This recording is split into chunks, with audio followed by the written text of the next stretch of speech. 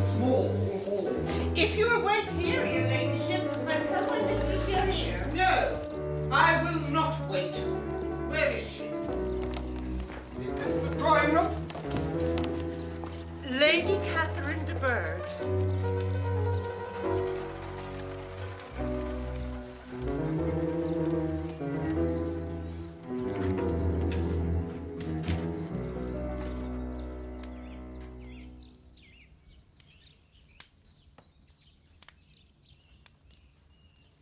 That lady, I suppose, is your mother. Yes, she is. Mamma, this is Lady Catherine de Bourgh. And that, I suppose, is one of your sisters. Yes, ma'am. She is my youngest girl, but one.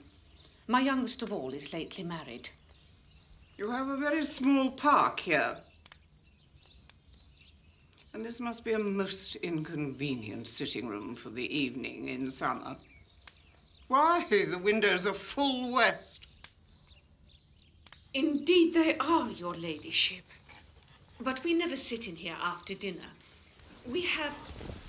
Miss Bennet, there seemed to be a prettish kind of little wilderness on one side of your lawn. I should be glad to take a turn in it. If you would favor me with your company.